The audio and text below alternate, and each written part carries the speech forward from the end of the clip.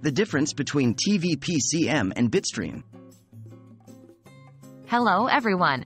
Welcome to today's video where we'll be discussing the difference between TVPCM and Bitstream. If you've ever wondered about the technical aspects of audio transmission and how they relate to your TV viewing experience, this video is for you. So, let's dive right in.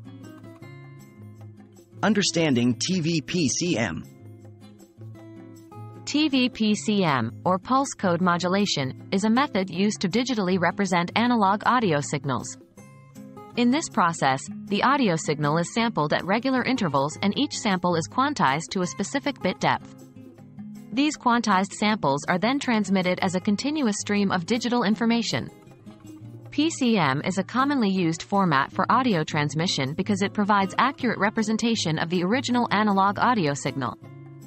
It preserves the full dynamic range and frequency response, resulting in high-fidelity sound reproduction. Exploring Bitstream. Now, let's move on to Bitstream. Bitstream refers to a digital audio format where the audio data is encoded as a sequence of bits. Unlike PCM, which represents the audio signal as a continuous stream, Bitstream breaks down the audio signal into discrete packets or frames. Bitstream can use various encoding formats, such as Dolby Digital, DTS, or AAC.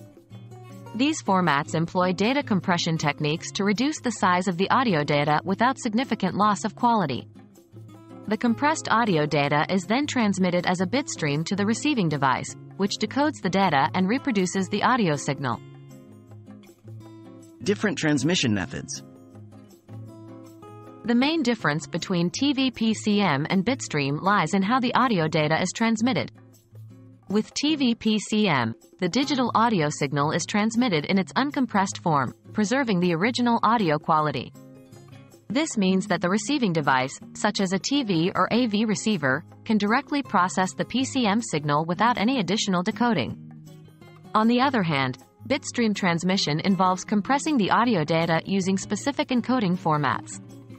This compressed audio data is then transmitted as a bitstream to the receiving device. The receiving device must have the capability to decode the compressed bitstream and convert it back to an analog audio signal for playback. Compatibility in audio formats. Another aspect to consider is compatibility and audio formats. PCM is a universally supported audio format, meaning it can be processed by virtually any audio device without requiring additional decoding. This makes it a convenient choice for devices like TVs or Blu-ray players that may not have advanced audio decoding capabilities. Bitstream, on the other hand, relies on the receiving device's ability to decode specific audio formats. If the receiving device doesn't support the format used in the bitstream, it may not be able to properly decode and reproduce the audio signal. This can result in either no audio playback or a fallback to a lower quality audio format. To summarize, TVPCM and Bitstream are two different methods of transmitting audio signals. PCM represents the audio signal as an uncompressed stream of digital data, ensuring high-fidelity sound reproduction.